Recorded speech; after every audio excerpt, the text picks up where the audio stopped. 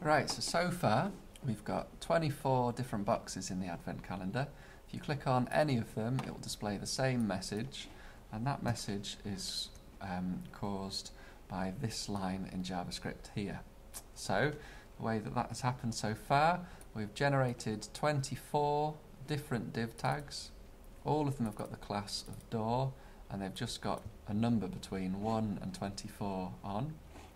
Then we add a click handler to all of them, so this is jQuery to find all of those div tags, everything with a class of door.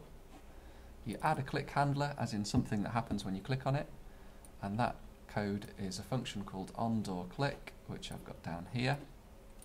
And at the moment it just says alert Merry Christmas, which is uh, what brings up the little um, error message dialog box thing. Okay. So what we want to do is make a different message appear on each box. So we can do that by finding out first of all which box we've clicked on. Um, so in JavaScript you've always got an object called this which contains different data at different points in the code.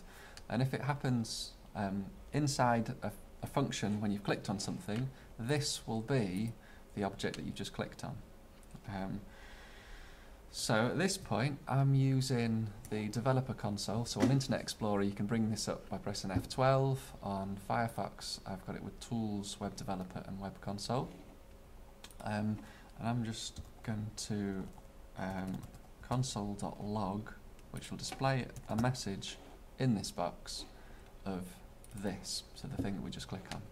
So if I run that code, the post means that you're sending stuff to JS Fiddle, uh, and you can ignore the stuff in blue.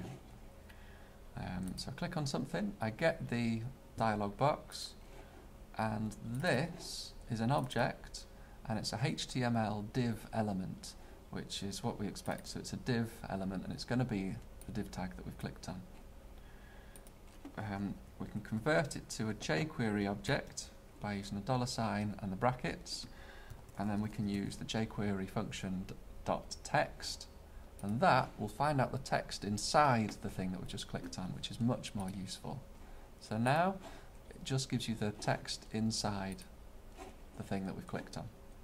Alright, so rather than displaying that into the console, it's more useful uh, to remember it and store it in a variable. So let's say var day equals, and then this number here, the text inside the box that we've just clicked on. Then we can do different things depending on what the value of day is. So day will just be a number between 1 and 24 at the moment. And I'm going to use a switch statement. You could use lots of if statements, but um, a switch statement would be more efficient because it will use less lines of code.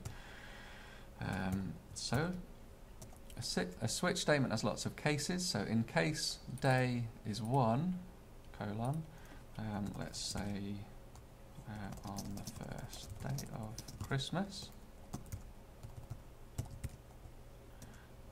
And it will do everything until it sees break. And then you can do the same in case um, day is 2.